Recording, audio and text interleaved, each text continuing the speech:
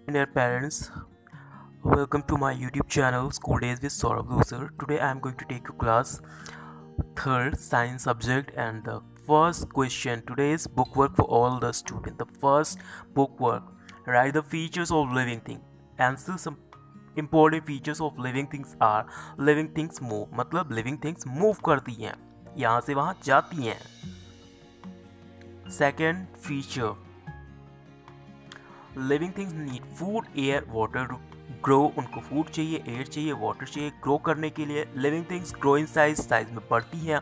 Living things breathe साँसें लेती हैं. लिविंग थिंग्स फील महसूस करती हैं.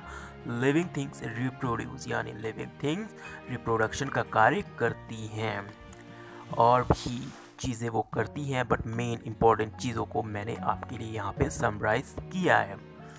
डियर स्टूडेंट क्लासेस को मिस नहीं करना, अभी नेक्स्ट आंसर आपके लिए आने वाला है। इसको आप नोट करते जाइए अपनी घर की रफ कॉपी पे।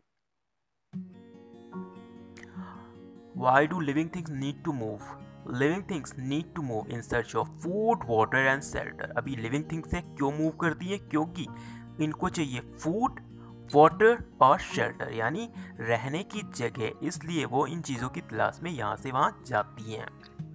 The next question for you how do plants reproduce अभी प्लांट रिप्रोडक्शन कैसे करते हैं? यानी जनन कैसे करते हैं? Plant reproduce through seeds some plants also reproduce from their stem leaves और रूट यहाँ पे प्रोड्यूस नेक्स्ट क्वेश्चन आने की स्क्रीन पे फास्ट नज़रें गड़ा के रखिए भागिए रगा नहीं, कहीं भी ये चैनल जोड़ के। How do plants respond to their surrounding plant respond to their surrounding in a variety of ways. Some plant stimuli include light, gravity, water, movement of the sun and touch. यानी कि plant ये जो plant है अपने environment के प्रति कैसे response करते हैं तो ये काफ़ी तरीक़ों से रिस्पॉन्स करते हैं। जैसे कुछ प्लांट हैं, वो लाइट के प्रति संवेदनशीलता को दिखाते हैं। जिधर लाइट होती है, उधर जाते हैं। ग्रेविटी के थ्रू और अपनी मूवमेंट के थ्रू सन की तरफ़ और टच के प्रति भी वो संवेदनशील।